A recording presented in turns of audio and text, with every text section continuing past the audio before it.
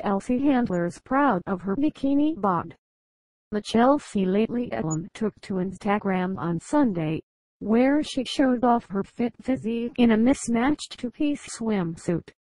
In the photo, the 40-year-old poses with her hands on her hips while rocking a gray and black bikini top and purple bottoms. You know, I had a boyfriend who told me my boobs were too big and that I was fat. And then, I looked in the mirror, she posted with a candid snap.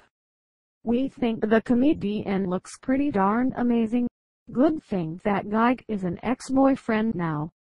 We're about to see more big things from Chelsea, too. The Blonde Beauty has new docu-series which will be hitting Netflix next year. Her new show will explore racism, marriage, Silicon Valley and drugs. It'll be like the younger, hipper, cooler 60 Minutes. I want to immerse myself in things I know nothing about, she told reporters while promoting her new show. We can't wait to see Handler return to the small screen.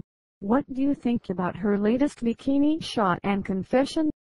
Sound off below and click launch gallery above to see more celebrity beach bods.